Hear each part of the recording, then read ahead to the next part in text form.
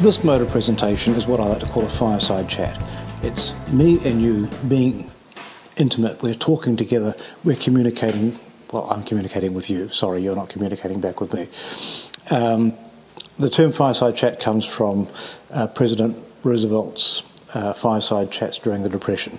President Roosevelt wanted to communicate complex issues to the American people. He would take a radio and he would call, he'd call them a fireside chat. It was like him sitting down at your fireside talking to you.